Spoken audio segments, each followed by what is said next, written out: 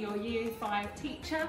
Uh, in September, we will be starting our first new topic, which is going to be the Greeks, and I'm really looking forward to that. And hopefully, there will be some fun activities happening amongst that topic. And then we will be doing Victorians and World War II, and we'll have some other stuff planned for the summer term.